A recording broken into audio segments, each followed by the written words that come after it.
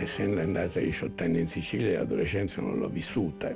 Lavoro, lavoro, lavoro. Di città in città, viaggio d'inverno. Questa era una situazione di tale miseria e i ricchi ne hanno la colpa semplicemente perché sono ricchi. Io alla lotta di classe ci credo. Senza la lotta di classe non c'è movimento della storia. Poi sono passata a Parigi. E a Parigi, insomma, le ragazze, gli amici e soprattutto il cinema.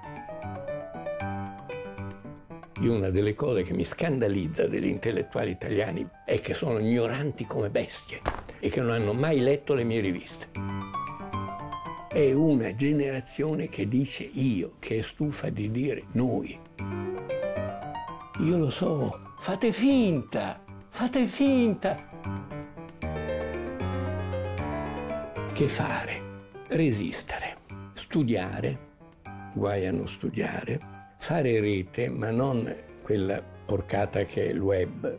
E ultima cosa, rompere i coglioni.